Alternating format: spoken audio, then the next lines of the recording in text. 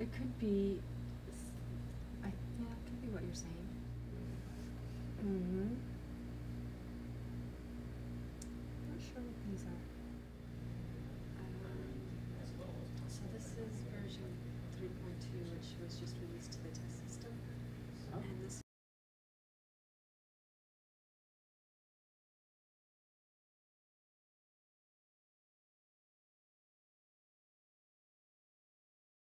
Kepler 186f is the first validated Earth sized planet in the habitable zone of its star. It's the outermost of five planets to orbit a star that is smaller and cooler than the Sun. Uh, this planet orbits its star every 130 days, and so this places it in the habitable zone, where it's, it's in a region where it could have liquid water on its surface. So we now have one example of an Earth sized planet in the habitable zone of an M dwarf.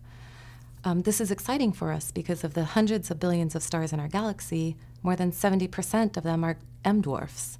So, if we can say that planets like Kepler 186f are common, then we might be able to say that uh, Earth sized planets and habitable zones of stars in general are common.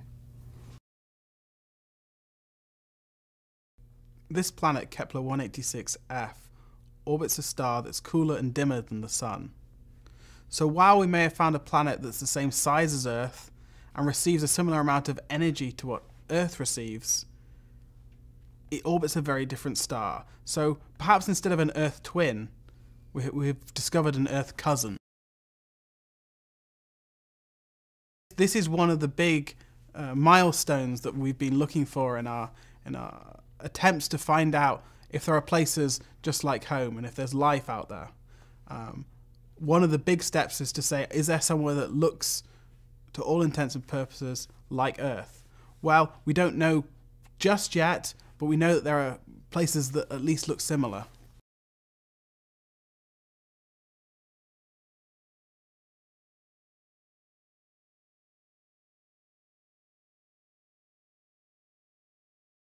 Five, four, three, two. Engine start. One, zero, and liftoff of the Delta II rocket with Kepler on a search for planets in some way like our own. Vernier engine chamber pressures are building. Ground-lit solid motors are building and chamber pressure.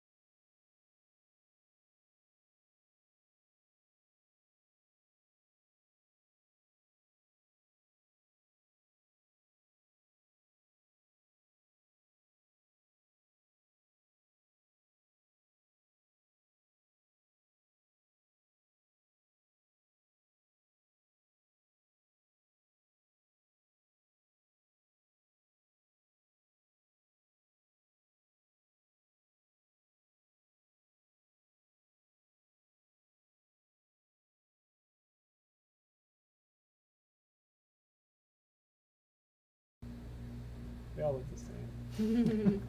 yeah. It could be. I, yeah, it could be what you're saying. To see if there's. I think they use the centroid plots to determine if.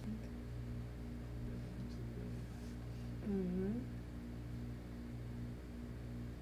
Not sure what these are. Mass versus radius,